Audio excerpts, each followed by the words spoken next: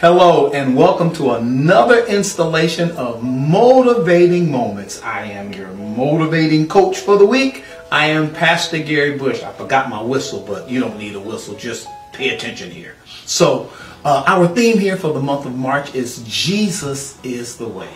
We found that theme in the book of St. John, chapter number 14 and verse number 6. And it reads, Jesus saith unto him, I am the way, the truth, and the life. No man cometh unto the Father but by me. And so Jesus declares himself to be the way from where we are to the presence of the Father. And he gave three dynamics, three characteristics of how he is the way to get to the Father. The first one he says, he says, I'm the way. Uh, the way by definition is a method or a manner of doing things and then its second definition is that it is a path, it is a trail. Normally, a trail leads from one place to a destination.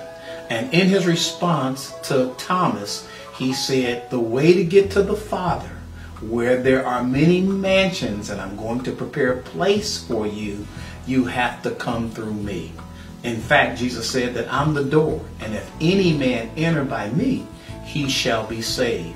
Uh, it's going to kind of get us in trouble because people are teaching many ways to God and many religions, but not so according to what Jesus said. He said, No man comes to the Father except by him. And so that's my encouragement to you today. I don't care how many good works you do and how many good organizations you get tied up with.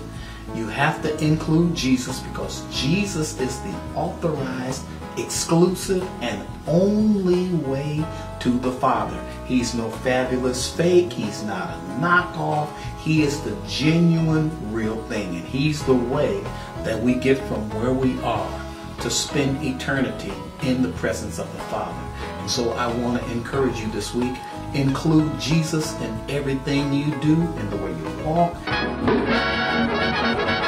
in the way you talk. Hallelujah. Yes. Uh, hallelujah. Yes. Hallelujah. in the way you associate with people. If an interesting monster can't have an interesting hairdo, then I don't know what things are coming to.